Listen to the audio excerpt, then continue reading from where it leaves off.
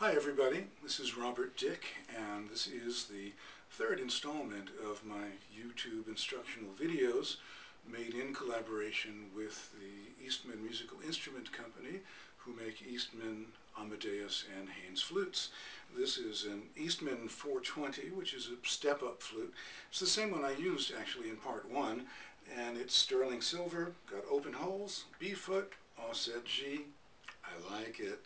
Now, um, in this lesson, I'd like to cover two things. One is to go over the exercise that I recommended last time, the kind of human wah-wah pedal effect.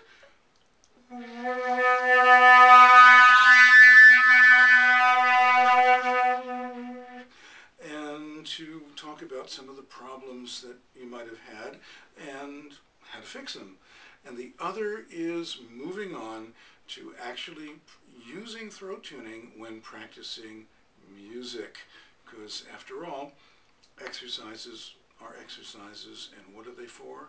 To prepare us to play music. Um, for the next installment in the series, I'd like to move on to delving into how to play multiphonics. And um, we've got a lot to do there and we're going to have a great time.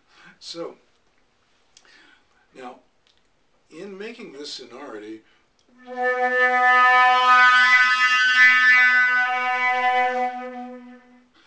you might have had the feeling that there was no way to get the flute to play higher without singing louder.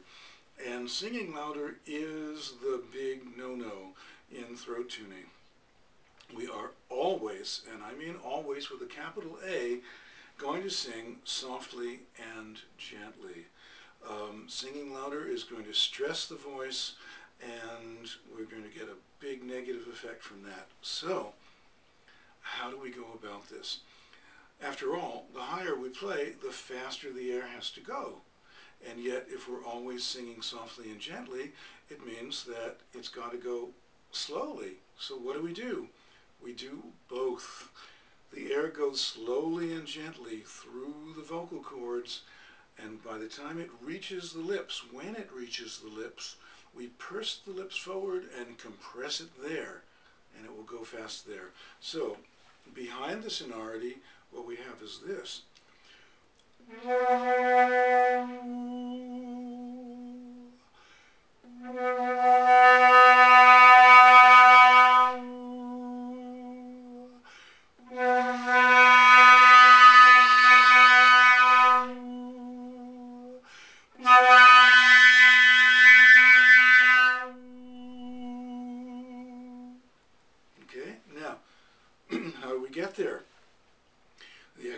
I'd suggest you do is to start um, in unison with the flute on the low B. If you don't have a low B, use low C for this. Then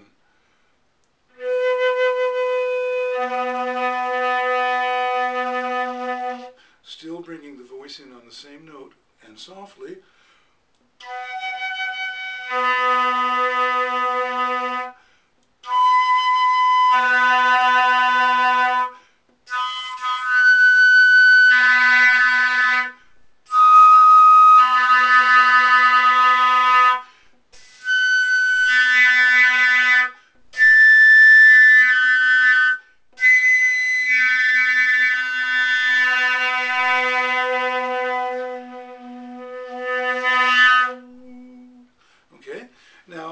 That's going to take some practice. And if you find that you can't do it, practice natural harmonic exercises. And if I may, I'd like to recommend the place to find them. And it's my book, Tone Development Through Extended Techniques, which you can order through all the flute and music retailers and also through my website, www.robertdick.net and I do hope you'll come for a visit there. There's a lot of good stuff on the site. Now, um, the natural harmonics will help build the strength of the lips and the mobility of the lips. Both are really, really important. So, now we come to applying throat tuning to practicing some music, and the music I'm going to use is one of my favorite pieces from the classical repertoire, the Chaminade Concertino. And um, I really do like this piece, and I've played it so many times. And I'm going to play a bit of the opening section right now and talk my way through the throat tuning um, and the octave placement because after all sometimes the music is going to go too high for me to stay two octaves below the flute and as a guy I'm basically tuning two octaves below the flute. Most female flutists will be tuning one octave below the flute. Sometimes the music goes too low and I just can't sing that low so I've got to come up an octave. So here we go. Two octaves below the flute.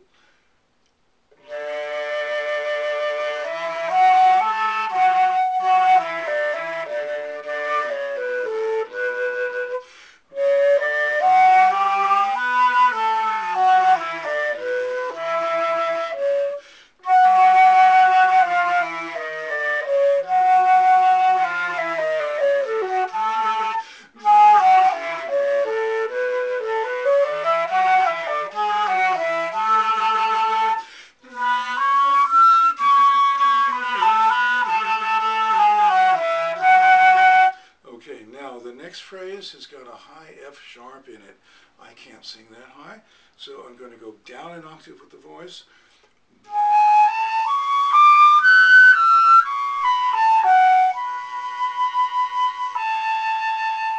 I actually sang that three octaves below the flute.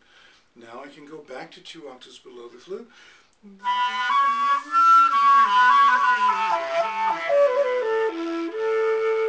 The next phrase has got a low C sharp in it. And I can't sing that two octaves below the flute, so I'm going to come up to one octave below the flute.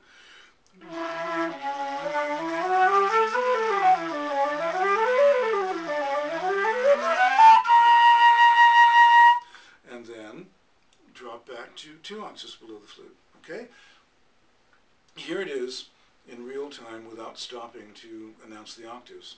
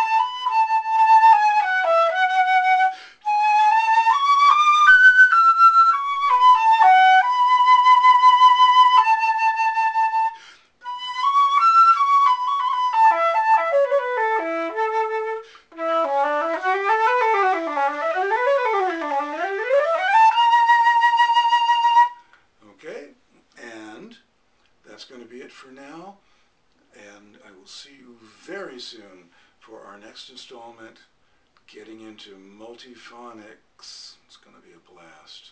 Thanks.